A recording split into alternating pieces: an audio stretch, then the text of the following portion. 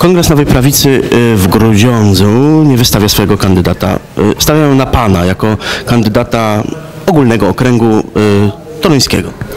Tak, to prawda. Jestem jedyną osobą w tym okręgu popieraną przez Kongres Nowej Prawicy w wyborach do Sejmu. Startuję z Komitetu Wyborczego Wyborców Kukiz 15 e, z pozycji 10 i stąd właśnie moja wizyta w Grudziądzu, chęć podzielania się z mieszkańcami e, moimi koncepcjami tego, jak bym widział naprawę Polski i tak jak już powiedziałem, przede wszystkim stawiam na proste, klarowne i przejrzyste prawo, bo uważam, że to jest fundamentem w naszym kraju.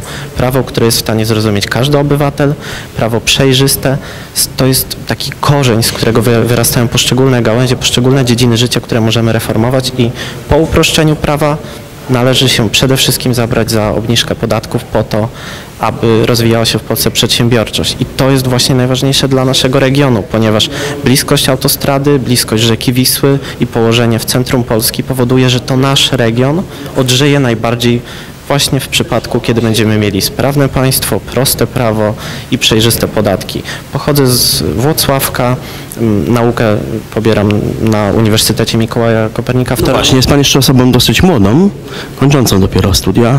Y, mm, Ta młodość, myśli pan, że ma wnieść jakiś taki powiew do tej polityki? Bo y, listy, z których pan startuje, to mają takie główne potencjalne hasło zmiana, czyli generalnie zmiana całego systemu, całego ustroju, bo państwo w koalicji, y, rozumiem, czy w jakimś porozumieniu, tak, są z panem Pawłem Kukizem. E, Tak, w wielu okręgach e, członkowie czy też sympatycy, tak jak ja w tym przypadku, bo jestem osobą bezpartyjną, e, startują z list Komitetu Wyborczego Wyborców Kukiz 15. Tam, gdzie się nie udało takich osób wprowadzić na listy, Kongres Nowej Prawicy wystawia osobne, aby dochodzić z tym programem. W niektórych okręgach jesteście samodzielnie, istniejecie, a w niektórych, y, gdzie były powiedzmy jakieś inne uwarunkowania, y, weszliście y, w kontakty, bo nie tylko tutaj jest, nie tylko przedstawiciele Kukiza, tak, ale jeszcze też inne ugrupowania wchodzą. E, Tak, e, szeregi tego Komitetu Wyborczego Wyborców zasilają na przykład sympatycy Kongresu Nowej Prawicy, Ruchu Narodowego, związków zawodowych, partii libertariańskich, takich środowisk, które można powiedzieć są poza mainstreamem, ale od lat głoszą jasne, klarowne poglądy i im właśnie Paweł Kukiz zaufał, w tym okręgu zaufał mnie, jestem za to wdzięczny. Natomiast y, jeszcze jeśli chodzi o tę młodość, ja zawsze powtarzam, że samym argumentem młodości nie można szachować. Y, W parze z młodością muszą iść kompetencje. Y, Moje studia prawnicze, które w, w tym roku kończę, otworzyły mi oczy na wiele spraw, jeśli chodzi o polski system prawny. Natomiast pewna bezkompromisowość, która wy- wynika z mojego wieku, fakt, że nie musiałem podpisywać choćby oświadczenia lu- lustracyjnego, y, wypisując zgodę na kandydowanie, poja- y, pokazuje jakby, że jestem w stanie wywalczyć to, o czym mówię. Młodość to jest też możliwość y, spotykania się z problemami bardziej przyziemnymi, ponieważ tam, gdzie poseł ma swoje biuro poselskie, kiedykolwiek byłem w jakimkolwiek biurze, były pustki, ewentualnie działacze z jednej czy z drugiej partii, którzy przyszli na kawę. Ja mam energię, żeby dotrzeć do wyborców. Ci wyborcy mówią, to są problemy ludzi, którzy sprzedając na targowisku dzień w dzień nękani są przez kontrolę Urzędu Skarbowego. To są licealiści, którzy przed sprawdzianem na siódmej godzinie lekcyjnej nie mogą y, obecnie wypić kawy, ponieważ wasza ustawa, która zakazuje tak zwanego śmieciowego jedzenia, ustawa jest naprawdę bublem legislacyjnym i za te buble będzie niestety trzeba poświęcać energię, żeby sprzątać. Tak jak mówiłem, w 2014 roku w Polsce uchwalono 25 tysięcy stron maszynopisu y, wszelkich aktów zmieniających bądź tworzących nowe prawo. To jest biegunka legislacyjna. To już wychodzi poza wszelkie granice i właśnie młodzi ludzie bezkompromisowi są w stanie powiedzieć dość, a jeśli ci ludzie mają kompetencje, aby zaproponować rozwiązania, co po tym dość, to jest to dobry materiał na sprawny region. Państwo mają jakiś wspólny program, wspólną wizję, może, bo programu y, Paweł Kukiz tutaj mówił, że nie, tylko generalnie jakąś taką koncepcję, inaczej on to nazwał, inaczej sformułował te swoje postulaty, o może tak to nazwijmy.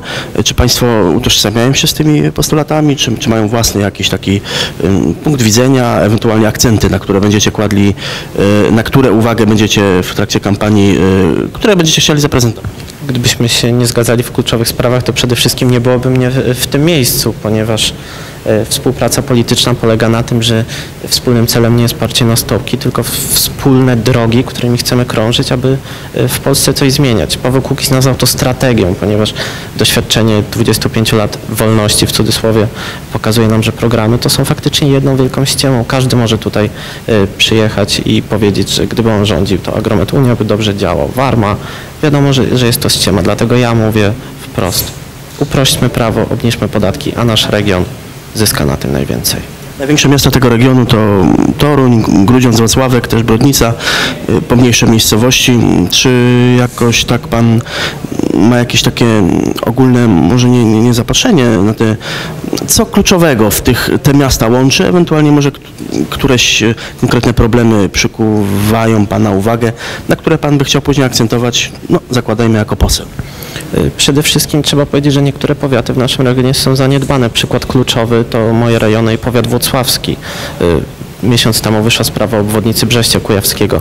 To z kolei powtarzali ludzie, którzy z ramienia Kongresu Nowej Prawicy startowali tutaj w Grudziądzu w wyborach samorządowych, ponieważ tutaj sprawa rozchodziła się o tak zwany kontrakt terytorialny, czyli dokument, który uchwala Sejmik Wojewódzki, który planuje poszczególne inwestycje w regionie. Czy to pan Rafał Nadolski tutaj z Kongresu Nowej Prawicy z Grudziądza, czy pan Tomasz Krawczyszyn powtarzali, że zapisy w kontrakcie terytorialnym są naprawdę bzdurne, ponieważ elektryfikacja linii kolejowej Toruń-Lipno w momencie, kiedy teraz przejeżdża tam jeden czy dwa pociągi dziennie, to są pieniądze zmarnowane.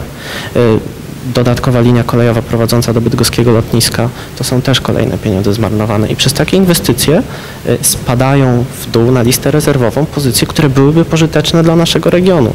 Poszczególne obwodnice, poszczególne średnicówki, wszystko to, na co Sejmik Wojewódzki ma wpływ.